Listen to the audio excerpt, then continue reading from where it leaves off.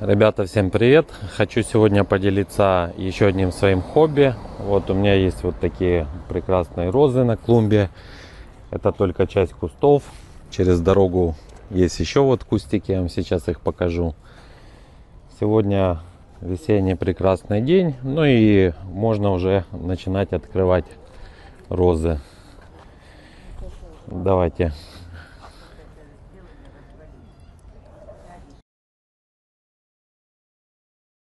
кустики. Вот можно посмотреть, люди шашлычок жарят. Весна полным ходом, уже шапки можно снимать. Давайте выберем один куст. Я перейду на клумбу, поставлю где-нибудь тут штативчик. И расскажу, собственно, про нюансы, вот как я укрываю кусты, почему именно так все это происходит. Ну и, собственно, мне этот способ понравился, он мне подходит. Давайте на примере вот этой розы. Значит, э, первое, когда укрывать? Укрываем розу тогда, когда нет э, такого явления, вот как днем куст намок и э, уходит в ночь на заморозок. То есть бывают такие дни, когда там дождик прошел осенью там или глубокой уже осенью ближе к зиме. Бывает э, просто влажный воздух он мочит куст куст уходит в замерзание и проходит обледенение. Вот кусты укрываю агроволокном э, почему именно им? Потому что оно дышит. Вот. первое как бы заблуждение э, часто укрывают пленкой натянули целлофановый мешок, замотали, все окей. И весной получается так, что листья перепревают. То есть куст как бы в листиках, листья начинают гнить, перепревают. Вот. Э, вторая ошибка, э, набивают в укрытие листья, там, я не знаю, там траву какую-то сушеную, э, думая то, что кусту будет теплее. Ребята, нет. На самом деле, если на улице минус 20, то под укрытием будет э, тоже температура такая же, как на улице. Минус 20 вот в этом укрытии. Вот попробуйте одеть агроволокно и выйти в мороз, постоять на улице. Ну, сколько там, полчаса простоите. Поэтому укрытие надо не для того, чтобы сделать тепло, а для того, чтобы избежать именно вот обледенения э, основных стволов, веточек, вот, когда открывать? Открываем э, тогда, когда э, ночью уже нет морозов, э, нет вероятности получить вот такое обледенение. То есть смотрим по прогнозу погоды, пошел плюс ночью, днем осадков нету, значит уже можно кустики открыть. Э, также у меня было э, один или два года, когда, ну так вот, погода сомнительная, я думаю, ну немножко подожду, передержу кусты под укрытиями. Э, передерживать тоже не стоит. Э, почему? Потому что э, куст нагревается в этом укрытии в агроволокне. И получается так, что когда мы его размотаем, уже будут вот такие вот побеги. Побеги, то есть понимаем апрель месяц, вот прямо начало, а тут уже такие ветки с листьями, с почками. Еще ничего нигде, так скажем, не зеленеет, а кусты уже поперли полностью в рост. Теперь, собственно, по самому укрытию нюансы. Смотрите, я делаю внизу юбку.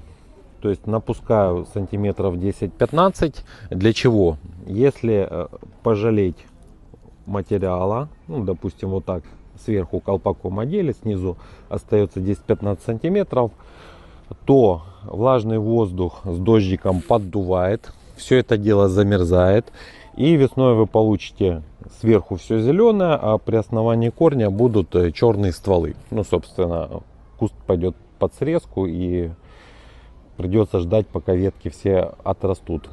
Второй нюанс, вот здесь тоже вот такая вот шапочка, прямо завернута агроволокно вот сюда. Э, тоже у меня был такой опыт, куст большой, вот э, покажу немножко позже. Golden Gate огромный куст, я прямо рукой не могу достать до самой верхушки. Я смотал в букетик, затянул веревкой, думаю, ну что ему будет, там укрыл хорошо. Получилось, что снег набился вот сюда, днем подтаял, водичка внутри укрытия спустилась по стволам. Естественно, ночью минус 20, обледенение. И по весне я открыл, посмотрел, там половина куста порвана. Что же получится здесь, я еще не знаю. Я еще ни одного куста не открывал. Может они померзли, может они в хорошем состоянии. Зима была очень тяжелая, обледенения были бешеные, минус 20, даже по-моему больше для нашей климатической зоны, ну, минус 20 это редко, это буквально там неделька, а другая может зимой. Вот, обычно в последнее время зимы теплые, то есть как бы проблем нет.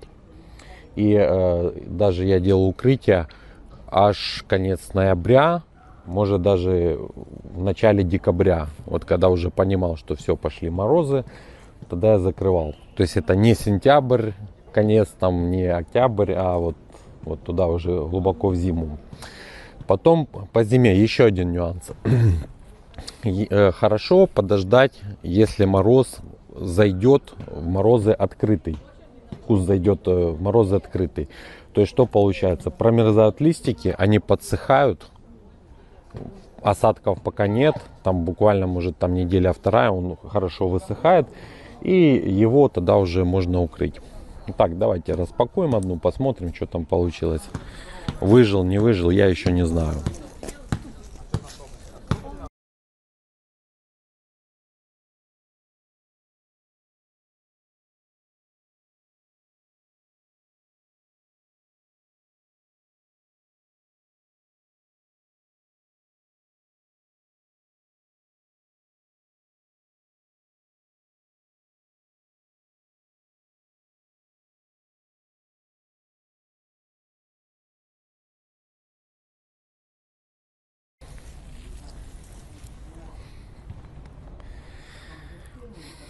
Итак, я открыл куст из, а, из-под агроволокна.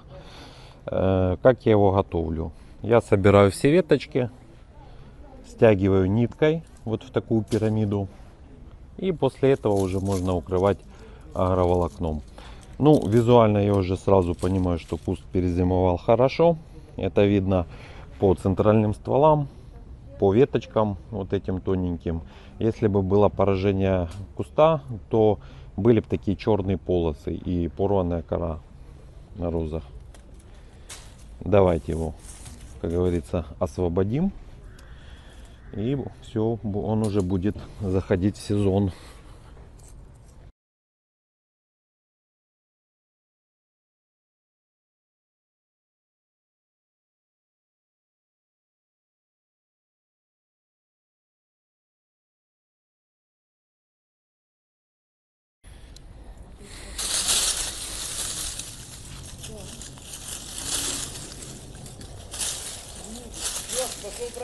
Да, процесс пошел. Открываем сезон. Вот видите, какой куст. Он таки довольно-таки крупный. Еще тут боковые веточки на зиму. Я все это убираю. Вот. Это прошлогодние листья старые. Они прекрасно высохли под э, агроволокном. И заприваний как бы нет потому что куст э, зашел в зиму уже такой подсушенный. Сейчас я поднесу камеру, мы посмотрим. Есть уже первые побеги, такие первые почечки. Еще все-все-все у нас вот во дворе. Я не видел почек, но э, на кусту под укрытием было комфортно, и он уже начал пробиваться.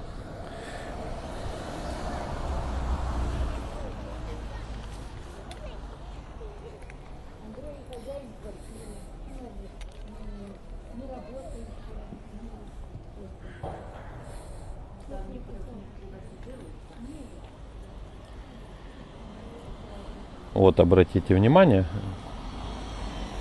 есть почки. То есть э, роза уже понимает, что ей можно понемножку готовиться к лету.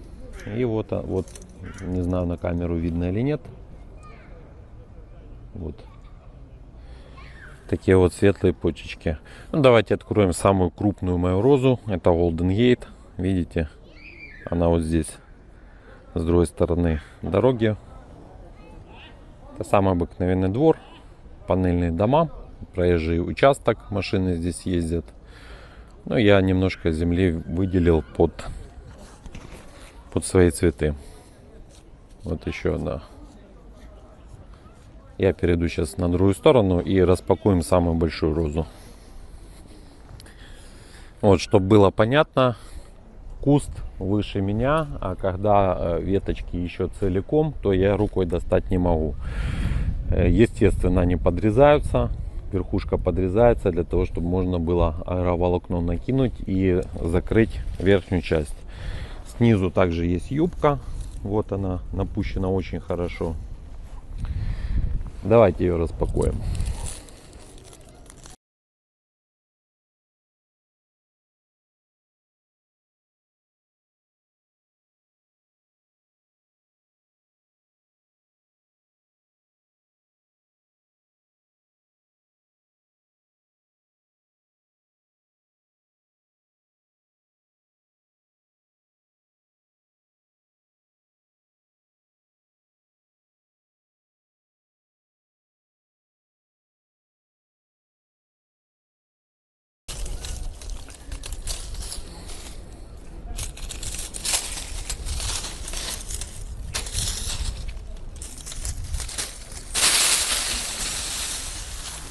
Mm-hmm.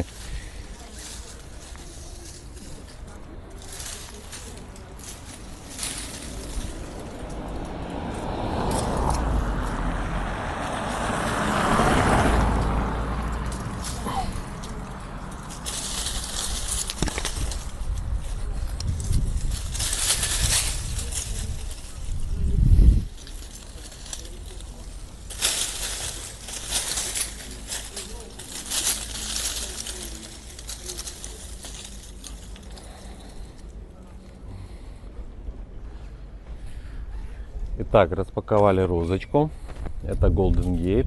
Такая труженица цветет э, желтым цветом. Ну, я скажу, поражение куста около, ну, не знаю, может 30-25%. То есть есть побеги, которые очень серьезно вымерзли. Возможно, они не доспели по осени. А возможно, был контакт с боковыми стеночками. Ну и на сильном морозе их прихватило. Сейчас я поставлю камеру немножко ближе и объясню, кто из них выжил, кто из них не выжил.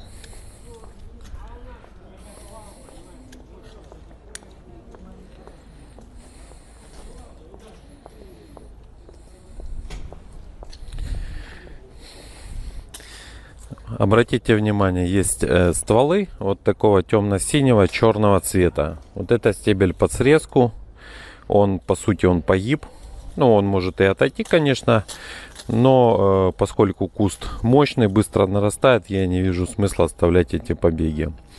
Э, побеги, которые хорошо сохранились, вот молодые, кстати, они имеют светло-зеленую окрасочку. Их я трогать не буду. Вот черные все под срезку. Раз, два, три. Вижу три. Вот прихвачена веточка 4. По той стороне еще немножко есть целом куст перезимовал хорошо. Вот. Но, как говорится, зима есть зима, морозы есть морозы. От промерзания никто не застрахован. Вот, кстати, немножко кору порвала. Сейчас покажу поближе.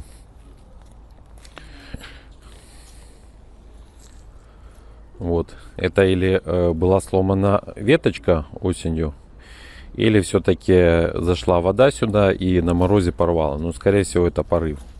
Видно, да? Вот, наверное, не, не видно. Вот так, сейчас покажу. Вот. Вот. Если э, побег ценный, ну, например, он основной у вас, и как бы куст мало нарос, и вы не хотите его срезать, можно попробовать заделать садовым варом. Садовый вар он защитит попадание влаги, жучков, всякой там заразы в виде инфекций. И можно будет э, оставить побег. Я подумаю, я посмотрю, что тут после обрезки останется. Ту веточку в последний, последний момент срежу. Ну вот, в целом все.